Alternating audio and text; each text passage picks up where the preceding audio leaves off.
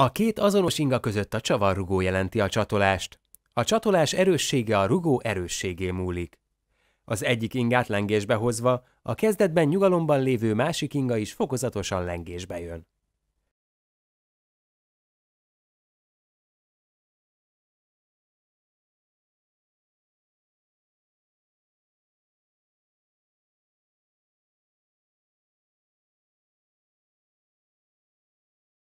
Ahogy ennek az ingának lengési amplitudója nő, úgy csökken a másiké. Amplitudója akkor lesz a legnagyobb, amikor a kezdetben lengésbe hozott inga megáll. Kezdetben a rendszer teljes energiája a nyugalmi helyzetéből kitérített ingában található. A csatolórugó révén ez az energia a két inga között fog megoszlani, míg végül a teljes energia a kezdetben mozdulatlan ingában összpontosul.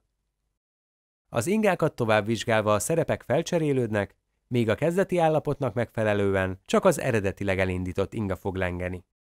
Ezután a fent leírt folyamat addig fog tartani, amíg a veszteségek miatt megáll mindkét inga.